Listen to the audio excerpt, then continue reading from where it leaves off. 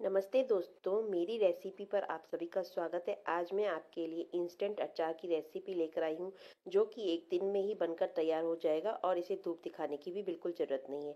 यह अचार सिंधी स्टाइल में बना हुआ है। सिंधी स्टाइल में बने हुए गाजर का अचार बहुत ही टेस्टी और चटपटा चटककेदार तो यहाँ हमने ले लिए गाजरें और उन्हें साफ़ करके हमने कट कर लिया है।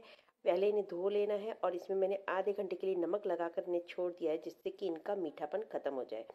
तो दोस्तों, ये इंस्टेंट बन रहा है तो इसे हम थोड़ा सा सॉफ्ट कर लेंगे, यानी बड़े बुज़ुर्ग भी इसे आसानी से खा सकते हैं। तो मैंने रख दिया है एक पतीले में पानी और पानी के गर्म हो जाने पर बॉयल हो जाने पर इन गाजरों को हम उसमें डाल देंगे।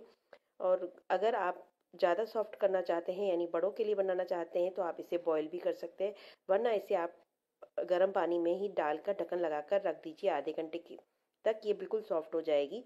और जब तक हमारी ये सॉफ्ट हो रही है, हम दूसरी तैयारी कर लेते हैं। चार चम्मच ले लिए सौंफ, चार चम्मच इसमें डाल देंगे राई, दो चम्मच के करीबन डाल देंगे हल्दी, दो चम्मच डाल देंगे इसमें लाल मिर्ची का पाउडर और एक चम्मच या फिर स्वाद अनुसार डाल देंगे इसमें नमक।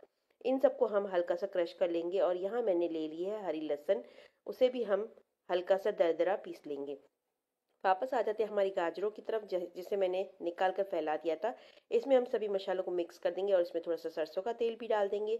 और एक सूखे कांच के जार में या प्लास्टिक के जार में आप इसे डालकर स्टोर करके रख सकते हैं। तैयार है।